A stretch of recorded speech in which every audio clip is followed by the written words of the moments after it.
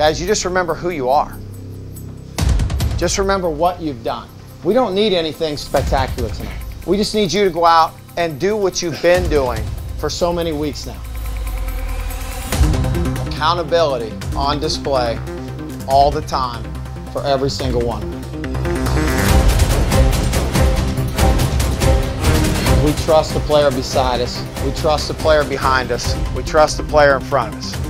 Guys, this has been an unbelievable journey. I am incredibly proud. I'm incredibly proud of the effort that each one of you have given us this year. Guys, this is a great opportunity.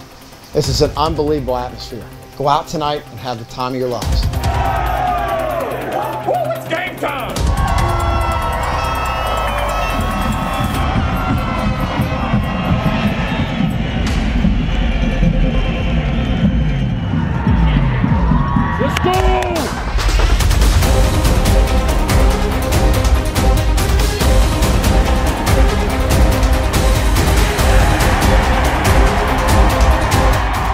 Down.